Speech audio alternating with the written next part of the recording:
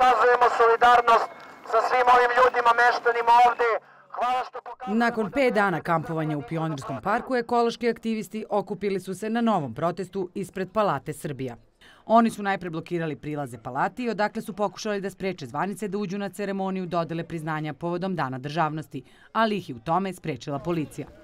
Jednostavno, ovo nije zemlja rudnika, ovo je zemlja poljoprivrede, industrije, intelektualaca, nije zemlja rudnika. Da pokažemo da ovo nije nezadovoljstvo od jednog dana, da je ovo nagomilano zadovoljstvo i da neka pitanja koje stoje otvorene već dugo vremena, a nisu u korist naroda, moraju da počnu da se rešavaju. Ja sam došao iz ugroženog područja, iz Levča, konkretno mesta Rekovac, sa 32 sela, koje je također ugroženo od strane kompanije Balkan Mining and Minerals, koja želi na isti način da jedan prelepi kraj, ruralni, poljoprivredni kraj uništi, unazaduje i trajno iseli oko 10.000 stanovnika sa tog područja. Uvek mislim ako ja ne dođem za jedno je manje. Podrška mladim ljudima, drago mi je što ih ima puno, sve više. Ja dolazim iz Loznice. Nedeljice su blizu Loznice. To je moj kraj. Otvorit će nam rudnik i šta onda i gde onda?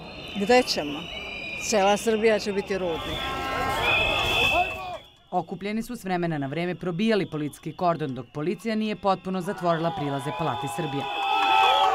Jedan od organizatora i koordinator današnjeg protesta Savo Manojlović saopštio je da se tokom blokade desila četiri incidenta, kada su vozači automobila pokušali da prođu kroz grupe okupljenih aktivista.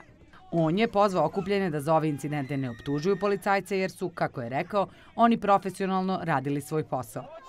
S druge strane, Manojlović naglašava da je vlast i dalje na potezu.